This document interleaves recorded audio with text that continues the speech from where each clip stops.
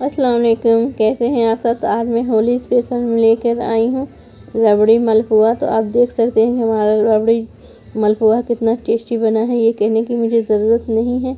आप इसे देख कर खुद समझ सकते हैं कि इसका टेस्ट कितना यम्मी होगा, कितना अच्छा होगा। तो चलिए शुरू करती हूँ मैं इसकी रेसिपी तो मैंने यहाँ पे वन कप मैदा लिया है और यहाँ पे मैंने हाफ़ कप गेहूँ का आटा लिया है, जिसको मैंने अच्छे से छन्नी में छान लिया था। और यहाँ पे मैंने वन फोर्थ हाफ़ कप मैंने सूजी लिया है।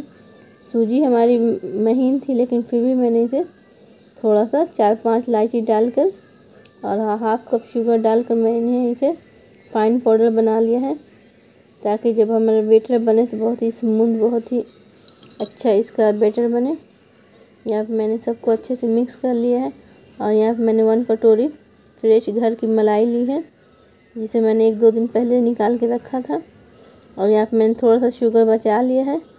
अब हम रब, रबड़ी जो मलाई है, उसको हम अच्छे से स्मूथ पेस्ट बना लिया है, ताकि जब हम बेटर बनाएँ तो हमारा जो बेटर है, बहुत ही स्मूथ हो, बहुत ही और यहाँ पे मैंने थोड़ा सा जो मलाई है थोड़ा सा बाउल में निकाल के रख दिया है। जब हम इसे रबड़ी को सर्व करेंगे, मालपुए के ऊपर, यहाँ पे मैंने अच्छे से इसमें मैदा में मिक्स कर लेना है और यहाँ पे मैंने दूध लिया है।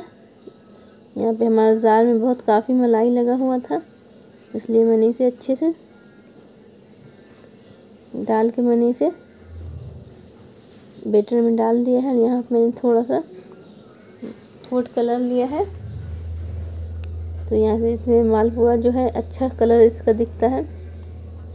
और यहाँ पे मैंने थोड़ा थोड़ा दूध लेके इसका बेटर बनाया है। अभी हमारा बेटर जो है थोड़ा सा गाढ़ा है, इसलिए थोड़ा सा मैंने इसमें और दूध डाला है।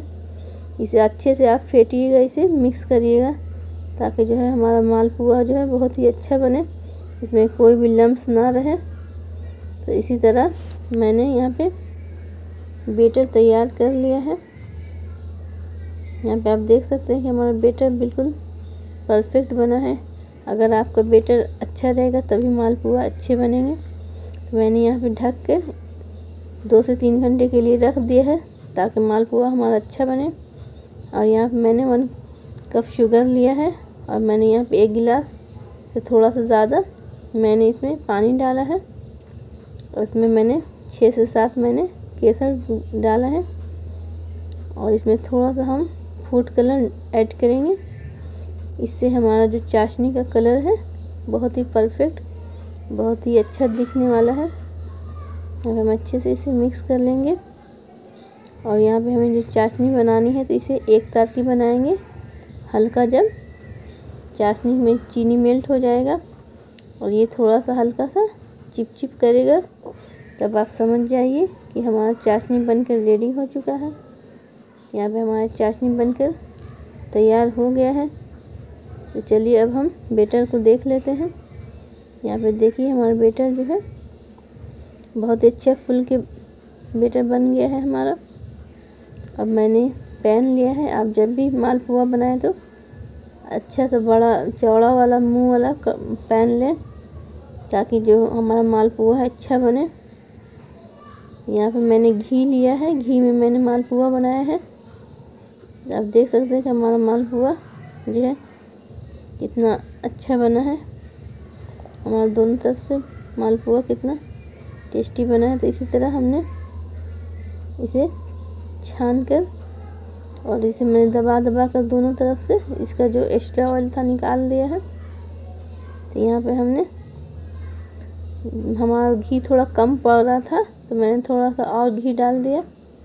और यहाँ पे मैंने इसी प्रोसेस से हम सारे मालपुए बनाकर तैयार कर लेंगे। यहाँ पर देख सकते हैं आप कि हमारा जो मालपुआ है, कितना अच्छे से फूल भी रहा है और ये बहुत ही टेस्टी बनता है। आप भी इस बार होली में ज़रूर मालपुआ ट्राई करें। होली में गुजिया या मालपुआ दोनों ही ज़्यादा बनाए जाते हैं, क्योंकि ये मीठा डिज़र्ट है। इस तरह से मालपुआ बनाएँगे तो आपको भी बहुत बहुत पसंद आने वाला है। आपके घर वाले बहुत ही तारीफ़ करेंगे आपकी। एक बार ज़रूर ट्राई कीजिएगा इस मालपुए को। इसी प्रोसेस से मैंने सारे मालपुए बना लिए हैं। और हमारा चाशनी जो था, हल्का गर्म था, उसमें मैंने उसे रब कर दिया, डाल दिया है। इसी तरह आप देखिए कि मैंने सारे मालपुए हैं बना कर निकाल लिए हैं। फ्राई करके तो आप देख सकते हैं कि इसका शेप भी माशाल्लाह बहुत ही राउंड शेप में आया है इसका। और जो हमारा ये है, मालपुआ बहुत ही अच्छा क्रिस्पी, बहुत ही सॉफ्ट बना है। यहाँ मैंने चाशनी में डाल दिया है। इसी तरह करके मैंने चाशनी में डाल के इसे बारी बारी से मैंने निकाल लिया है और थोड़ा सा मैंने इसे गार्निश कर लिया था पिस्ता से। और यहाँ मैंने जो राब, मलाई जो बचा कर रखा था, उसमें थोड़ा सा और मैंने ऑयल थोड़ा सा दूध डाल कर उसको गाढ़ा कर लिया था। तो यहाँ पे हमारी रबड़ी बन चुकी है। और यहाँ पे मैंने इसे सर्व कर लिया है। वीडियो अच्छी लगे तो please like, share and subscribe. Allah